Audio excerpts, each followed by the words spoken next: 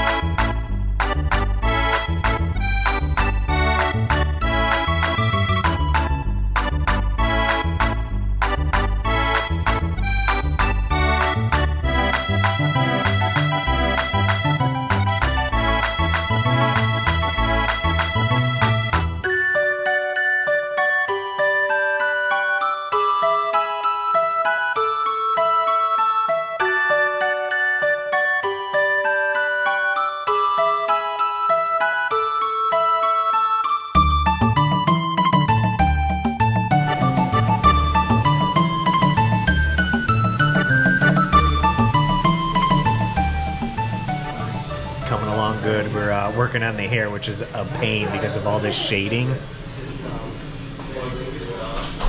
So many highlights and everything, so. Yeah,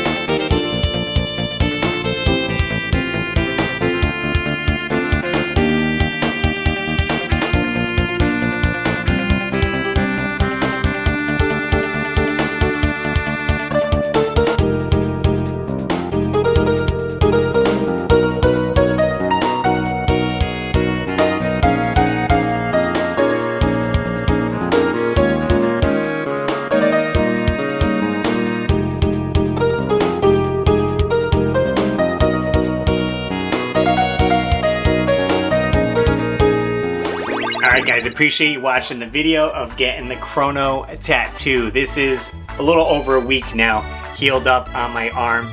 The color is popping really nicely and you can see the trees with Jason right there.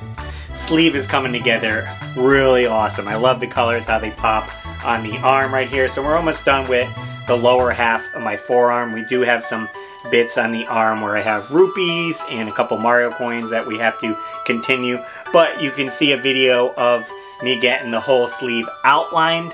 I'll put a playlist of this video you can check out right here of all the tattoos that I have gotten video game related. Let me know guys if you got any video game tattoos and as always, I'm Russ Lyman and keep your world fun bit by bit. I'll see you next video.